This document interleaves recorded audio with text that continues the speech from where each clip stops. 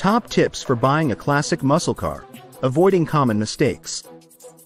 When it comes to buying a classic muscle car, the process can be both thrilling and daunting. In this video, we're diving into the ultimate buyer's guide, covering everything you need to know to make a smart purchase. First off, understanding the market is key. Before you buy, do your homework.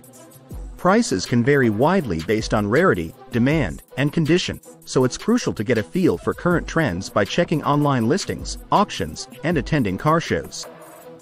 Authenticity is another major factor.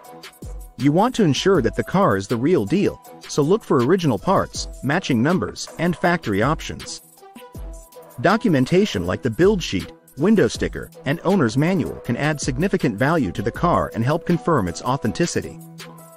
Beware of clones and learn how to spot them to avoid paying for something that isn't what it seems.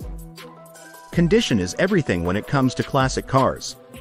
Whether the car is original, partially restored, or fully restored, you need to know what you're getting into.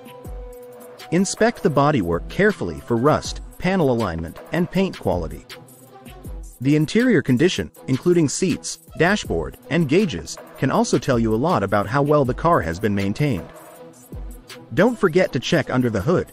Engine and transmission wear or modifications can impact both value and performance. Speaking of performance, always take the car for a test drive.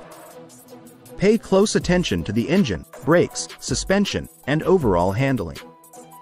Knowing the original performance specs can help you understand how any modifications might affect the car's value and drivability. Assessing the car's value is essential, especially if you're buying as an investment. Rarity, originality, and condition all play a role in determining how much the car is worth. Whether you're looking for a bargain or a showstopper, it's important to know the market value to avoid overpaying. For those serious about making a purchase, I recommend having a trusted mechanic or muscle car expert inspect the vehicle. Their professional opinion can provide peace of mind and help you avoid costly mistakes. In summary, Buying a classic muscle car requires patience, research, and attention to detail. With these tips, you'll be better equipped to find the right car at the right price. If you found this guide helpful, don't forget to subscribe for more muscle car tips and drop your questions or experiences in the comments below.